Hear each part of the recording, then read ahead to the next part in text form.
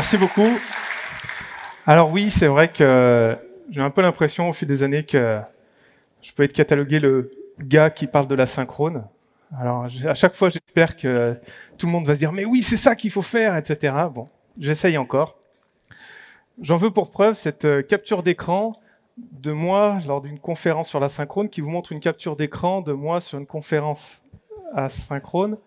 Et donc pourquoi je vous montre ça? Bien sûr, c'est pour avoir une nouvelle capture d'écran de moi dans une conférence en synchrone en train de montrer une présentation. Bon, bref, c'est l'Inception. J'essaie de lancer un nouveau challenge. Euh, alors, il y a une petite histoire quand même, une petite progression. Il n'y a pas besoin de revoir l'épisode 1, etc. dans l'ordre. Euh, la première conf où je suis venu vous en parler, c'est ah, c'est incroyable, j'ai découvert les générateurs, on peut faire de la synchrone avec. Épisode suivant, mais en plus, ça marche, je l'ai mis en production, croyez-moi, ça existe pour de vrai. Ensuite, il y a eu PHP 8.1 et je suis venu vous dire, euh, arrêtez avec les générateurs, il faut faire des fibers. Et aujourd'hui, bien sûr, je vous dis, arrêtez avec les fibers, il faut utiliser un framework. Vivement la prochaine conf où je vous dirai d'arrêter les frameworks. Alors, euh, j'ai jamais trop comment me présenter. Bon, voilà. Actuellement, je fais du PHP chez Lendable, qui est une euh, entreprise britannique. On fait du crédit, crédit auto, crédit à la consommation, demandez pas trop, je suis suis pas expert du tout du métier.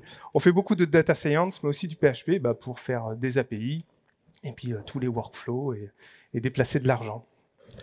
Donc voilà, on fait pas d'asynchrone, encore pas beaucoup, et euh, pourtant, eh ben, on fait plein d'appels HTTP, ça nous prend du temps, donc c'est un, bon cas d'usage. Et on va voir justement un peu tous ensemble comment euh, bah, on peut utiliser les outils actuels, les outils state of the art, pour pouvoir rendre nos applications asynchrones. Alors une petite présentation rapide de chaque framework. Alors il faut savoir que c'est vieux hein, au final, faire de l'asynchrone en PHP, des fois ça surprend. Premier commit en 2012 pour React, qui à l'époque s'appelle Socket Server.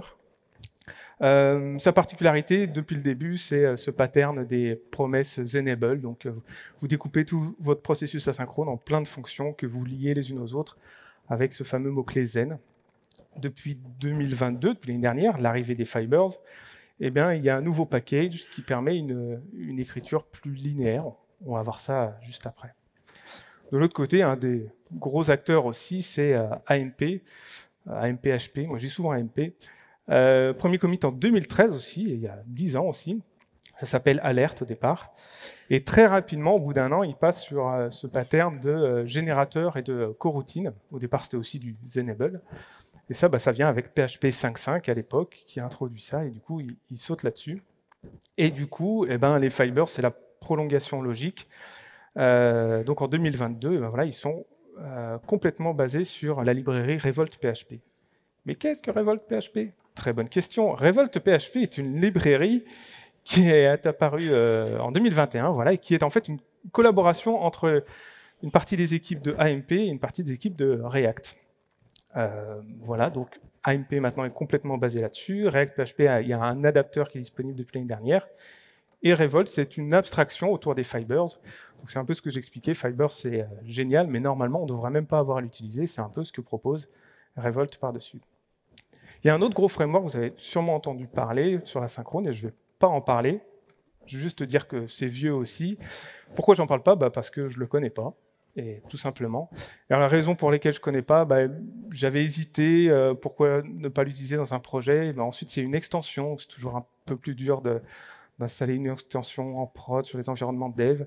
Il y a aussi de la documentation, mais beaucoup de documentation est en chinois ou du support, etc. Ça vient de la communauté qui est majoritairement chinoise. Et puis, il y a quelques années, il y a eu un Soulgate, il y a eu une séparation, je ne sais pas si vous avez suivi, j'ai suivi de très loin, mais voilà, maintenant il y a Soul, il y a OpenSoul, donc euh, voilà, tout plein de petits trucs pas très graves, mais qui au final euh, ont fait que j'ai jamais réussi vraiment à, me plonger dedans. Ça n'empêche pas que tout ce que je vais dire, hein, ça peut s'appliquer euh, à Soul. Et puis, parce que voilà, les exemples que je vais vous présenter, on va faire beaucoup d'exemples. Je vais essayer de vous de mettre en valeur un peu trois composants que j'estime vraiment corps pour bien comprendre l'asynchrone. Pour faire de la programmation, il vous faut des fonctions asynchrones. Ok, jusque-là, tout va bien. Une fonction asynchrone, c'est juste dire, je suis capable de lancer une opération, et ça va pas se finir tout de suite. Je peux aller faire quelque chose en attendant. je reviendrai plus tard pour savoir est-ce que c'est fini. Pour nous aider, il y a l'event loop. C'est ce concept de euh, super euh, truc qui va se débrouiller justement à dire ah bah toi t'as fini, t'es bloqué, bouge pas, je vais donner la main à lui qui va faire ça, etc. C'est un peu se permettre de changer de contexte facilement. Et il y a quelque chose que parfois on oublie, c'est qu'il faut de la concurrence. Il faut avoir un moyen de dire je vais faire ça et ça en même temps. Sinon, si vous faites de l'asynchrone et vous faites qu'un seul truc asynchrone à la fois, bah, c'est du synchrone. Alors voilà, on va combiner un peu tout ça. J'ai fait des petites icônes super sympas que je vais vous coller de partout, et puis ça va être méga clair. Alors, beaucoup d'exemples. Euh, je voulais vraiment quelque chose de pratique, de voir à quoi ça ressemble. À chaque fois que j'essaye d'expliquer, euh, qu'on me demande mon avis, mais alors c'est quoi la différence? Je fais bah oui, mais alors t'écris comme ça, mais pas tout à fait comme ça. Donc là, voilà, beaucoup de code. J'ai essayé d'écrire gros. On va voir ce que ça fait. Un premier exemple qui est euh, musical, indice. Alors on va voir ici une fonction euh, qui va faire quatre fois boom boom clap. On voit ici qu'il y a une fonction delay à la fin qui est une fonction asynchrone. Ce qui est rigolo, c'est que si je vous avais pas dit qu'elle était asynchrone, bah, c'était difficile de le savoir. Ça, c'est parce qu'on est en train de faire un exemple avec AMP. AMP maintenant utilise complètement les fibers, et donc c'est ça qui est complètement nouveau, c'est qu'on voit même plus qu'on fait de l'asynchrone. Donc voilà, je vous passe un peu pourquoi c'est timing, etc. C'est, on peut voir ça comme une partition de musique. Ok, on a cette fonction asynchrone de ce côté-là. Et de l'autre côté, j'ai une autre fonction asynchrone. Là, les mélomanes commencent à se dire. Hein. donc, qui va afficher we will, we will rock you avec différents delays aussi. Là aussi, c'est asynchrone. Donc, ce qui est bien, c'est qu'on a deux fonctions, deux contextes complètement distincts. On ne mélange pas les deux. L'écriture est super linéaire. Bon, so far so. Et puis, on va euh, eh ben, faire fonctionner ces deux fonctions ensemble. Juste une petite parenthèse sur cette syntaxe, peut-être vous n'êtes pas habitué à ça, c'est du PHP 8.1, ça veut dire la fonction bit et juste en dessous la fonction sing. Okay c'est pas trois petits points parce que j'ai eu la flemme d'écrire, c'est vraiment trois, points, et ce n'est pas un appel de fonction, c'est pour désigner la fonction elle-même. Donc ces fonctions-là, je vais les lancer de manière asynchrone. Donc AMP a introduit cette, fonction async, et c'est là où il va y avoir en fait euh, la concurrence. C'est-à-dire que je dis d'un côté enregistre, c'est pas vraiment lancé là. Dans ce contexte, c'est plutôt enregistre cette fonction en asynchrone, enregistre cette fonction en asynchrone, auxquelles sont quelque part, et à partir du moment où on fait event loop run, c'est là où ça va défiler bah, tant qu'il y a des trucs à faire. Donc bah tiens, il y a exécuter euh, afficher ça, attendre temps, etc. Et c'est ça qui va faire toute la mécanique. Juste le start and stop, je vais le mettre dans plusieurs exemples, c'est juste pour bien voir, il n'y a rien qui s'affiche avant le start, il n'y a rien qui s'affiche après le stop. C'est du coup pour bien voir quand s'exécutent les fonctions, des fois ça change un tout petit peu. Exemple, obligé. Alors du coup, qu'est-ce que ça fait? Alors je vous sens complètement emballé, je vais le mettre une deuxième fois parce que vraiment, moi, ça m'a pris du temps, s'il vous plaît, un peu de respect. Donc, ce qu'il faut voir effectivement, c'est qu'on a nos deux fonctions qui s'exécutent. Alors, j'ai essayé de séparer ça, euh, une colonne chacun. C'est deux partitions différentes. Euh, la fonction boom boom, elle n'est pas au courant de la fonction qui chante. Et c'est la magie de la synchrone qui va simplement passer d'un contexte à l'autre.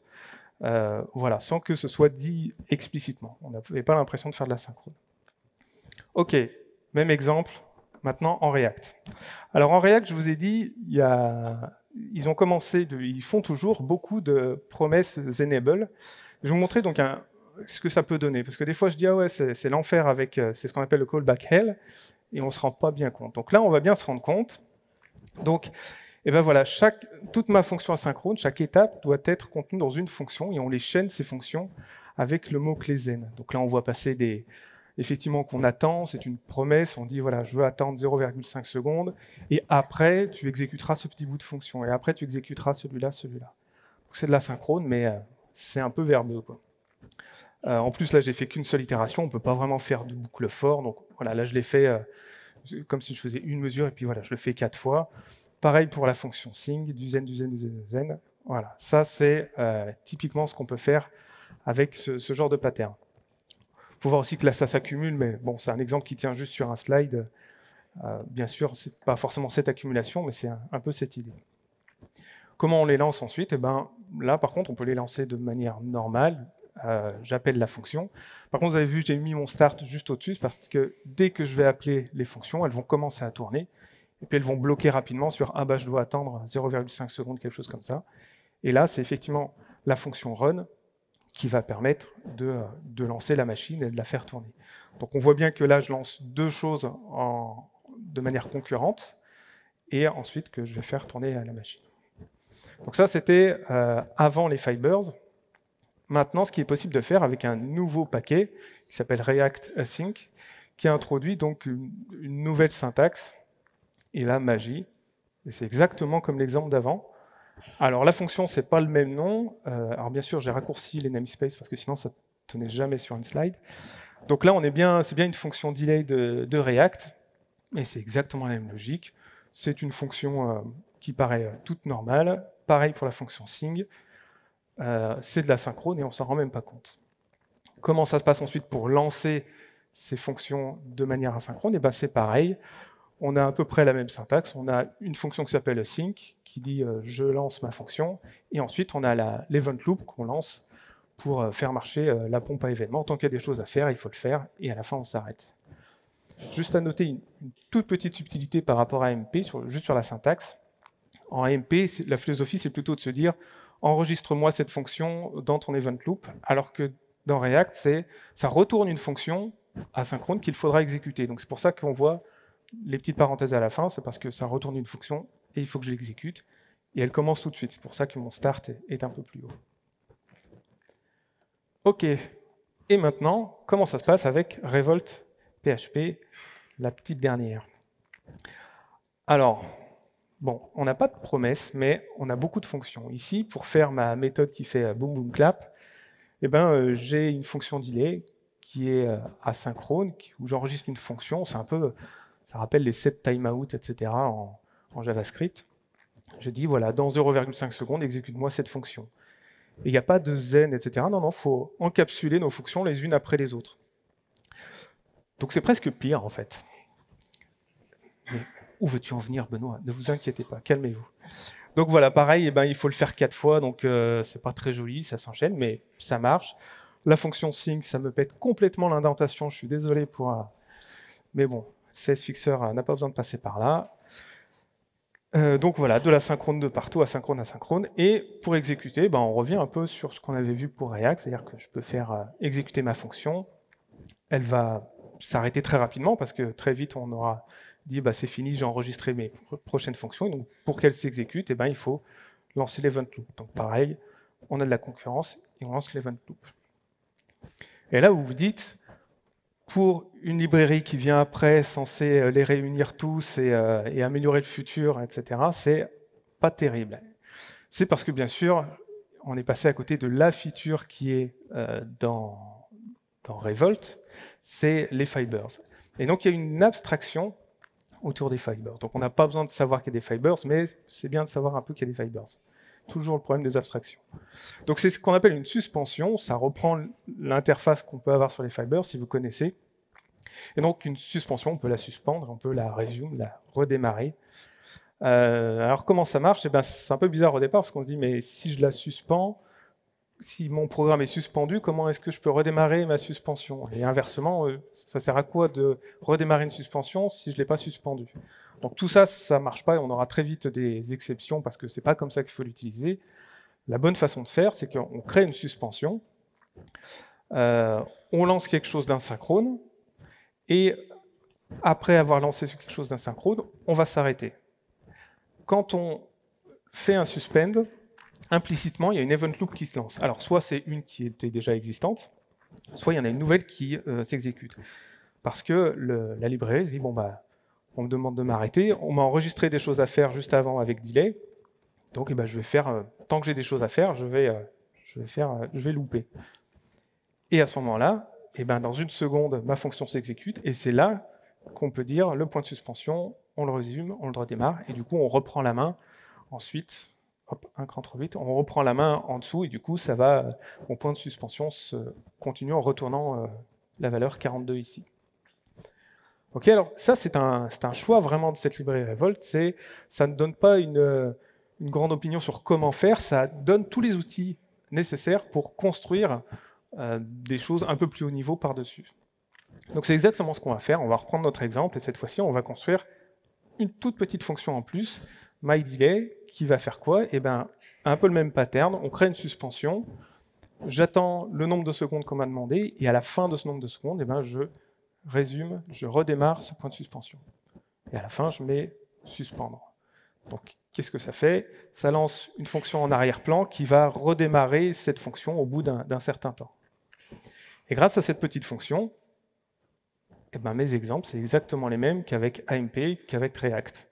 C'est-à-dire que là, j'ai une fonction, je ne le vois pas depuis l'extérieur, il n'y a rien qui me dit, mais c'est une fonction asynchrone elle va utiliser les fibers, etc. Donc, même chose ici, dans la fonction sing, on a toujours ma fonction myDB.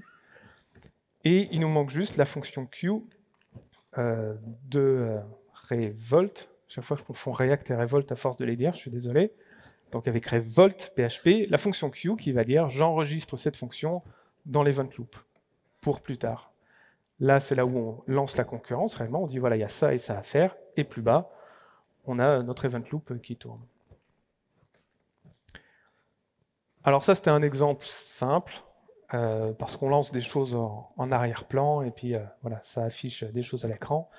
En général, ce qui est pratique de faire, c'est euh, ben, on, veut un résultat. C'est-à-dire que voilà, je lance un appel HTTP en asynchrone, ben, je veux la réponse, ou je veux calculer quelque chose, j'attends une réponse. Je vais montrer un peu comment ça se passe c'est avec euh, les, différents frameworks, je ne vais, vais pas faire euh, trois exemples différents. Donc la fonction qu'on va utiliser, c'est une fonction un peu euh, inventée, un peu vraiment basique pour ça. C'est une fonction getNumber, je lui donne un nombre et elle me retourne ce nombre en attendant un peu de temps. Donc si je veux qu'elle me retourne 1, ça attend une seconde. Si je veux que ça me retourne 2, ça attend 2 secondes, 3, 3 secondes, etc. Donc ça, c'est la fonction en la fonction en React, la fonction en Revolt. Ça change pas beaucoup parce qu'on a nos fonctions qui se ressemblent beaucoup. Ok, et euh, voilà, le petit euh, défi de cet exemple, c'est euh, je veux faire la somme de 1 plus 3 plus 2. Ok, alors si on fait ça en révolte, ça marche, mais c'est pas la bonne façon de faire. C'est pas la bonne façon de faire parce que là, en fait, il n'y a pas de concurrence. C'est-à-dire que je vais dire donne-moi 1, il va faire my delay, il va attendre, il va dire, bah, il n'y a pas d'autre event loop, ok, bon, bah, je la lance et j'attends une seconde, ok, ensuite 3, bon, bah, j'attends 3 secondes et j'attends 2 secondes. Et au final, on aura attendu 6 secondes pour faire notre somme. Alors que l'idée, c'est de pouvoir le faire dans le temps maximum, c'est-à-dire 3 secondes. Donc ça, c'est pas la bonne approche. Si je fais pareil avec euh, AMP, avec euh, l'opérateur plus, là, c'est même pas que c'est lent, c'est que ça crache. Pourquoi? Parce que avec un framework un peu plus haut niveau, comme AMP, quand on lance une fonction asynchrone, ça nous retourne un résultat asynchrone, une sorte de résultat partiel, pas tout à fait défini. Euh, dans le cadre d'AMP, ça s'appelle des futurs. C'est un mot-clé assez utilisé. Et les futurs, on ne peut pas les additionner en PHP. Additionner des objets, ça ne marche pas. Au passage, on voit voilà, comment passer des paramètres un appel de fonction asynchrone en AMP je vous disais tout à l'heure, ça change avec React, où React retourne une fonction. du coup, ensuite, on peut appeler la fonction. Donc, ici, on voit le paramètre après. En ce qui concerne l'addition, c'est la même chose pour React. React, la fonction async, elle retourne un résultat partiel. Eux, ils appellent ça une promise, une promesse, littéralement. Et donc, là aussi, euh, ça, va, ça va cracher. Donc, comment faire, comment passer d'une promesse à un résultat euh, concret, à un résultat terminé? Eh bien, il y a un mot-clé qui est déjà connu dans votre langage, c'est await. Donc, je peux dire et ben voilà, attend le résultat de cette fonction asynchrone. Le problème, c'est que là, je retombe exactement dans le même problème que je vous ai montré au départ avec Revolt, c'est-à-dire que si je demande d'attendre chaque promesse l'une après l'autre, eh ben c'est synchrone, puisque j'ai pas dit à un moment, ça, ce sont des appels concurrents. Donc ça, ça va pas marcher. Et pareil, en MP, alors ça va marcher, mais ça va mettre 6 secondes au lieu de 3. On remarque la fonction await, par contre, c'est une fonction membre de cet objet futur, de ce résultat intermédiaire. Et pareil, ici, ça va fonctionner, mais ça va fonctionner en 6 secondes, puisqu'on va, on va pas faire jouer la concurrence. Alors, comment on fait? Eh bien, donc, on a une fonction await aussi, qui est euh, statique, qui n'est pas une fonction membre, et qui nous permet de dire, voilà, attends l'ensemble de ces résultats asynchrones, l'ensemble de ces futurs. Et là, il y a de la concurrence. C'est-à-dire que ici, je suis en train de dire, voilà, il y a ça à faire, ça à faire, ça à faire, attends que tout ça soit fait. ok? Et ensuite, on récupère un tableau avec tous les résultats. Et là, je fais un vrai somme, juste pour, l'exemple, pour faire la, somme. Et donc ici, ça va pas mettre 6 secondes, mais ça va bien mettre 3 secondes à calculer, parce que c'est le temps maximum à attendre pour la, la plus longue des tâches euh, qui est faite euh, de manière concurrente. Même chose pour React on remarque que la syntaxe, c'est un peu plus... Il y a une fonction intermédiaire, en fait, qui arrive, c'est la fonction all. C'est-à-dire que React revoit des promises, et il y a cette idée que pour attendre un ensemble de promises, on va faire une nouvelle promise. En fait, c'est un résultat intermédiaire qui regroupe tous les sous-résultats intermédiaires. Donc on a cette première fonction, promise all, et ensuite on a la fonction await, qui vient du package async, qui permet de dire je veux attendre euh, ce résultat-là et euh, de manière sans faire de zen, etc. Donc voilà, juste euh, une petite fonction intermédiaire sur React qui est un peu en transition, c'est un peu mon avis, qui est un peu en transition entre ces deux, euh, ces deux manières de faire avec les fibers. Les fibers. on en reparlera, mais c'est vrai qu'ils ont une roadmap qui est publique sur leur repo GitHub et c'est intéressant de voir voilà, dans quelle direction on va pouvoir s'orienter le framework. Pour terminer, eh ben, en, en révolte, en révolte, il nous faut aussi une fonction all qui, bien sûr, n'existe pas parce qu'il n'y a pas de résultat intermédiaire, il n'y a pas ce genre de choses, c'est trop haut niveau, c'est à nous de le faire. Je ne vais pas rentrer trop dans les détails, mais je vais vous donner euh, rapidement l'idée, c'est intuitivement, enfin intuitivement, il faut aussi se servir d'une suspension, c'est-à-dire qu'on va dire je bloque la fonction all, elle va bloquer tant que eh ben, euh, tous les résultats ne seront pas faits. Donc tant que tous les résultats ne seront pas faits, eh ben, on met en file d'attente, on enregistre tous les appels de fonctions et on les, en, on les, en, on les wrap, on les emballe dans une, dans une autre fonction qui va permettre de dire si tu es la dernière, alors je résous la suspension. Donc juste pour le détail, voilà, j'ai mon petit wrapper, j'exécute la fonction, est-ce que tu es la dernière? Oui, et eh ben tu résumes la suspension. Et ensuite, voilà, ça fait illusion, et du coup ma fonction all, eh ben, elle marche. C'est-à-dire que j'ai des fonctions, je vais les exécuter toutes les trois de manière concurrente, et au final, je ne mets pas 6 secondes pour calculer cette somme, mais seulement 3. Avec les petits pictogrammes. Alors, tout ça, c'est de bons exemples pour commencer, pour ne pas s'embêter à les faire avec des delays, etc. Sauf que c'est rarement un vrai cas de la vraie vie. Dans votre programme, rarement vous dites j'ai trop de temps, je vais attendre un peu euh, avant de renvoyer cette réponse. Par contre, un vrai cas d'usage, c'est de faire des appels externes vers d'autres API, etc., des appels HTTP. Donc, comment ça se passe dans chaque framework? Alors, eh ben, AMP, il y a une lib pour ça, le HTTP client. Euh, je crée un client par défaut, je fais une request. Ça, ça marche. On n'a même pas l'impression que c'est asynchrone. Pourquoi? Bah, C'est toujours le même petit euh, truc avec euh, les fibers, c'est-à-dire que s'il n'y a pas déjà une event loop qui tourne, eh ben, ça va lancer une event loop, et puis euh, la fonction asynchrone, on va attendre qu'elle s'exécute, et on va voir la réponse tout de suite. Donc pareil, si vous voulez lancer plusieurs appels HTTP de manière concurrente, eh ben, il va falloir faire avec euh, la fonction await. Alors j'ai essayé de condenser, on va détailler brièvement ça. Donc là, on voit bien, on a client request, je fais deux appels. Il y en a un qui met deux secondes et un qui met une seconde. Je ne sais pas si vous connaissez httbin.org, c'est des endpoints où vous pouvez avoir des résultats euh, prédéfinis, où vous pouvez dire, voilà, celui-là, je veux que tu mettes deux secondes à me répondre et une seconde en dessous. Euh, là-dessus, je veux retourner le status, le, code de retour, donc 200 idéalement, euh, de l'appel HTTP. Et je veux avoir ces deux résultats. Donc, eh ben, j'utilise, je lance ces fonctions de manière asynchrone en disant, voilà, d'un côté tu fais ça, de l'autre côté tu fais ça, et je bloque tant que ces deux résultats ne sont pas faits, avec la fonction await qui prend la liste de ce que je veux attendre. Et voilà, alors c'est un peu condensé bien sûr, pour faire juste deux appels HTTP euh, de manière asynchrone, il y a des librairies euh, beaucoup plus efficaces. Ce qu'il faut voir, c'est que là, ma fonction ici anonyme, ça peut être de votre côté toute une fonction qui en appelle une autre, etc. Beaucoup plus compliqué. Ça peut être par exemple une fonction qui calcule un header, un header de page, et puis une fonction qui calcule le body, qui elle-même à l'intérieur appelle des fonctions euh, pour chaque produit d'une liste de produits que vous voulez afficher, et que chaque fonction ici fait un appel HTTP pour récupérer une définition, un lien externe, etc.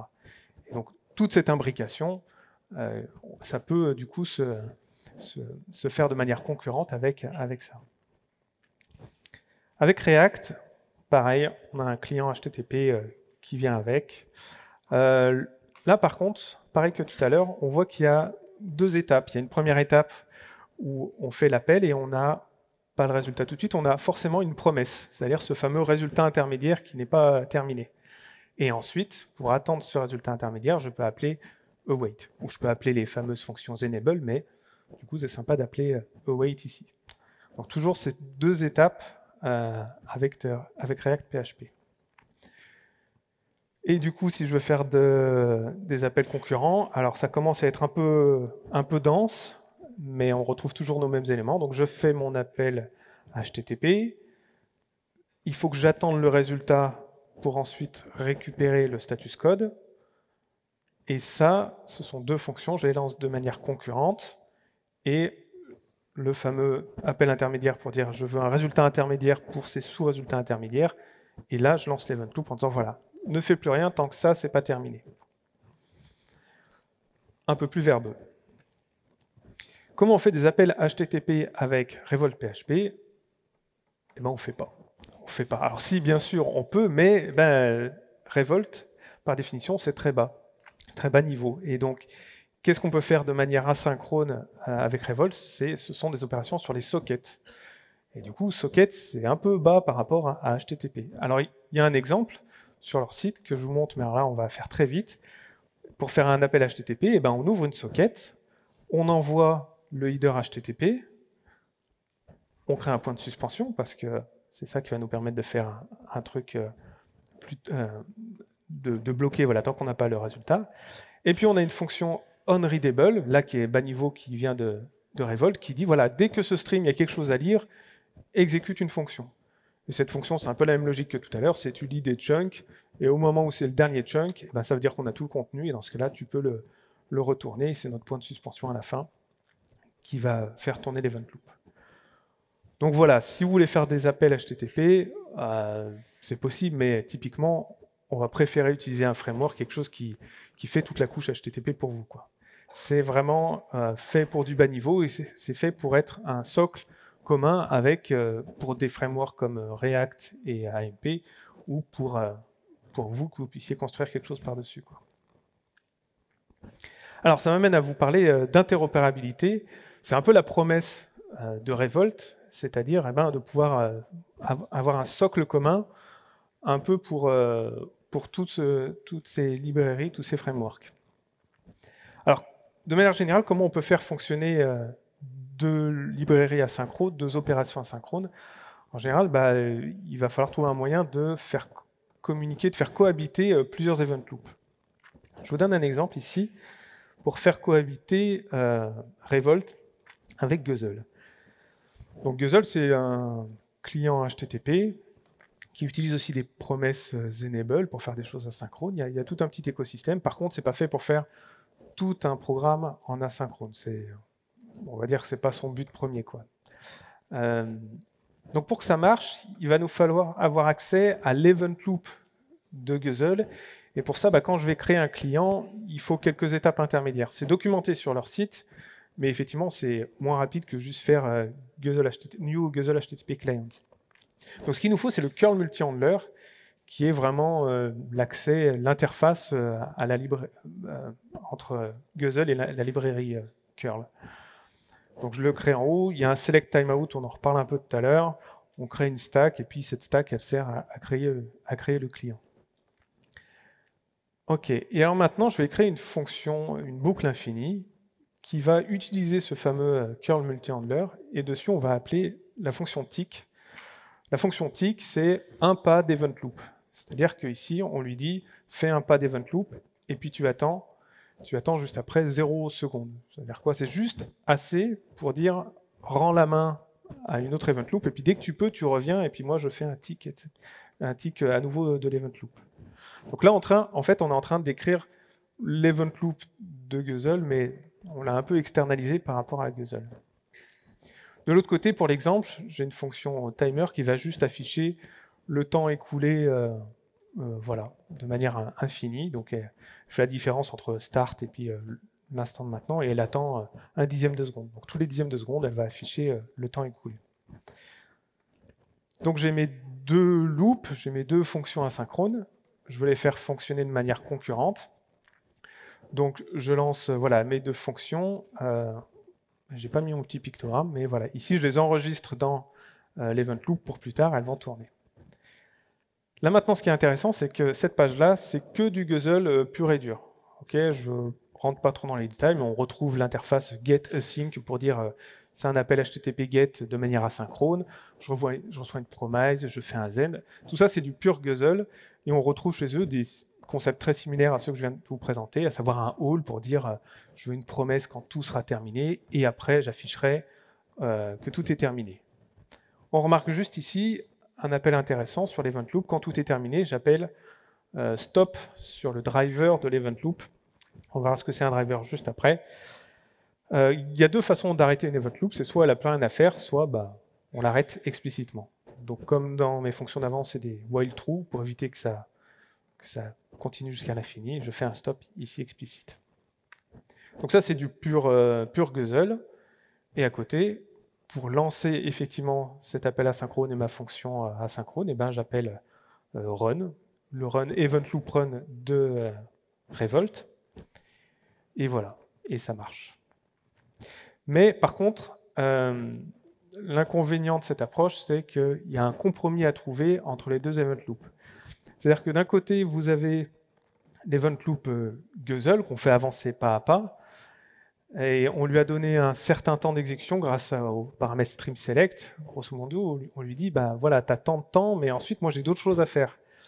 Et pareil, nous, on fait des choses, mais ensuite, il faut pas le faire trop longtemps parce qu'il faut redonner la main à Guzzle. Le risque qui peut arriver, euh, ce qui peut se passer, c'est que, eh ben, on donne trop de temps à l'un alors qu'en fait, il a rien à faire, quoi. Il attend en disant, ah, mais peut-être j'ai des connexions HTTP qui vont arriver et en fait, il se passe rien. Ou à l'inverse, euh, que de l'autre côté, on fasse tellement de choses qu'on redonne jamais la main à Guzzle ou que trop tard pour que ce soit intéressant. Donc ça, c'est l'inconvénient de fonctionner avec plusieurs event loops. Il faut trouver l'équilibre entre, entre les deux et c'est pas optimal.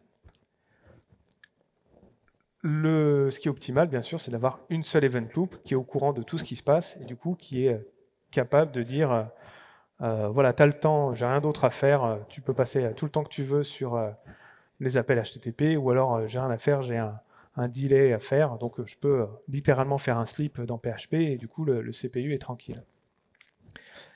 On va faire quelque chose de rigolo. On va reprendre notre exemple du début, et cette fois on va utiliser et React, et Revolt, et AMP. Et comment ça va marcher? Alors, il faut installer le petit package qui fait la, qui permet de faire tourner euh, React PHP avec Revolt. Donc, il y a quelque chose qui est fourni, c'est clé en main. Et ensuite, je prends exactement la même fonction de mon exemple du début ici en AMP. Je prends exactement la même fonction de mon exemple du début ici écrite en React. Je lance la fonction AMP de manière asynchrone avec AMP. Je lance la fonction React de manière asynchrone avec React. Et je lance au final l'event loop avec Revolt. Et ça marche. Je vous remets pas les boom boom schlack, mais ça marche.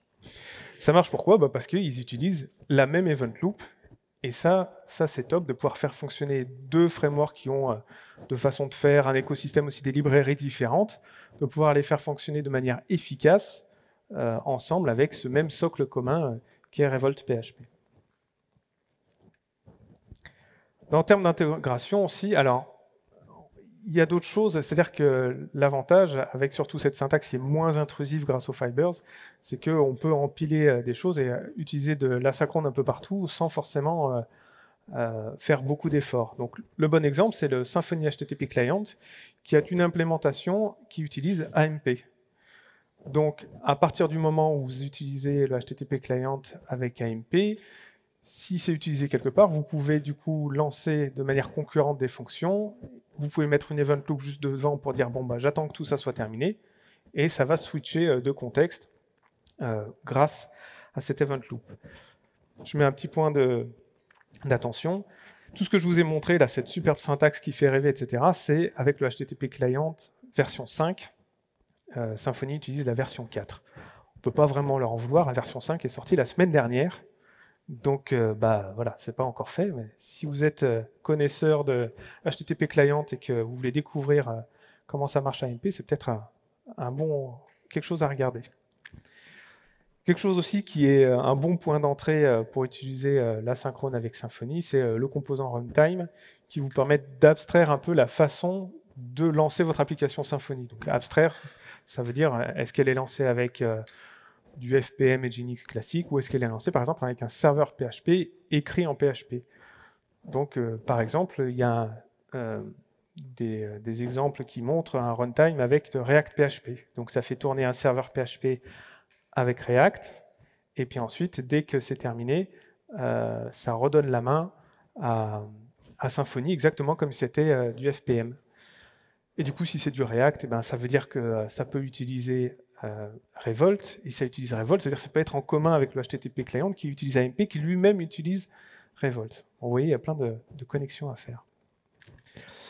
Et les fameux drivers, ça je vous en avais parlé, il faut savoir que euh, Revolt utilise euh, des drivers, c'est-à-dire qu'il y a une event loop native PHP qui fonctionne très bien. Si vous voulez plus de performance encore, il y a des extensions libevent, lib, libev et libuv, qui est, pour l'anecdote, la librairie utilisée pour Node.js. Et donc voilà, ça donne encore plus de performance, euh, ça vous permet de, passer à un niveau au-dessus. Je ne dis pas que ça vous permet de faire tourner Node.js et PHP au même endroit, hein, mais euh, voilà, en tout cas ça utilise les mêmes technologies. Alors pour terminer, voilà, je vous ai donné plein d'informations, ça c'est bien, ça c'est super, etc. Et maintenant lundi, euh, parce que vous allez avoir envie de faire de la synchrone, je le sais, avec quoi vous commencez? Quelle librairie choisir?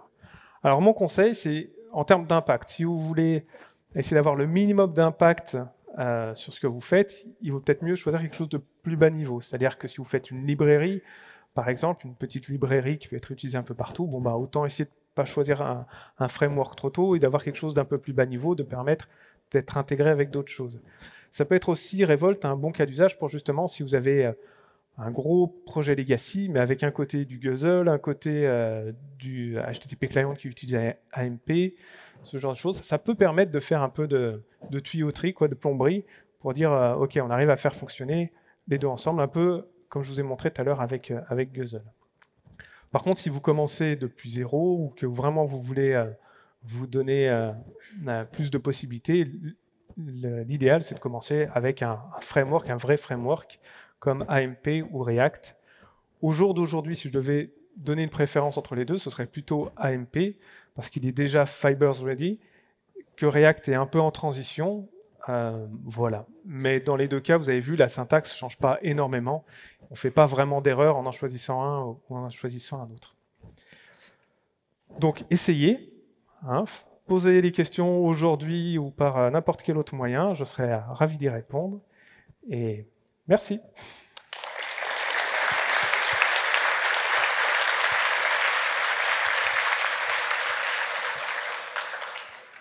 Merci beaucoup Benoît. Euh, on a le temps pour quelques questions. J'en ai déjà une. Merci pour la conf. Euh, comment tu gères les exceptions euh, Parce que vu que tout est imbriqué, est-ce que c'est au niveau où tu l'attends? Est-ce que c'est autour de l'event loop ou ailleurs? Alors, la réponse courte, ça se passe bien. Ça se passe bien parce que je ne l'ai pas détaillé, parce que c'est l'exception, quoi. Sur les fibers et donc sur les suspensions, il y a cette fonction throw, c'est-à-dire que on peut dire s'il se passe quelque chose de mal, ah bah envoie une exception à la fonction asynchrone qui attendait là-bas. Donc ça se passe plutôt bien. Euh, ensuite, si tu dois faire quelque chose bas niveau, c'est effectivement quelque chose à, prendre en compte en disant bon alors cette exception j'en ai une, à qui je l'envoie, à ceux qui attendent, etc. Mais ensuite voilà, dès qu'on utilise un framework comme AMP euh, ou React, ça se passe bien, c'est fait pour. Quoi. Bonjour, je suis juste ici, au milieu. Euh, je lève la main. Ah. J'ai une, euh, une, petite question. Euh, quand on est dans un await et qu'on a par exemple deux fonctions async, qu'est-ce qui se passe si la première fonction renvoie une exception? Comment, se passe au niveau enfin, comment ça se passe au niveau de la gestion des erreurs? Est-ce que ça s'arrête? Est-ce que ça renvoie juste une réponse en disant que le premier a planté et pas le deuxième? Enfin, voilà. Très très bonne question. Euh, donc là, je vous ai présenté effectivement le await et le all, qui est une première stratégie. Ça s'appelle des combinators en, dans les différentes librairies. La stratégie de celle-là, c'est de dire s'il y a une exception, c'est exception. Première, première exception relevée, j'arrête tout, euh, j'annule même les autres, euh, les autres jobs, et, euh, et voilà, c'est soit j'ai tout, soit j'ai rien. Il existe d'autres combinateurs qui peuvent être race, dans le sens où c'est premier arrivé, le résultat, ce sera le premier, ou qui peut être du style où ça tolère les exceptions, c'est-à-dire voilà, je veux tous les résultats, même si c'est des exceptions, et renvoie-moi un tableau avec les exceptions s'il y a eu un problème ou les résultats s'il n'y a pas eu de problème. Donc ça, c'est, il y a, voilà, on peut combiner, on peut avoir les différentes stratégies. J'ai pas parlé aussi, mais il y a dans les frameworks de plus haut niveau les cancellables, c'est-à-dire qu'on peut annuler quelque chose qui a été lancé en asynchrone. Et après, voilà, on peut, c'est, ça dépend vraiment des fonctions et effectivement des stratégies qu'on peut avoir. Ça, c'est au cas par cas. Eh ben, si on n'a plus de temps pour les questions, euh, on est parti pour une pause de 30 minutes de mémoire. Euh, on se retrouve à 16h35. Merci encore Benoît. Merci.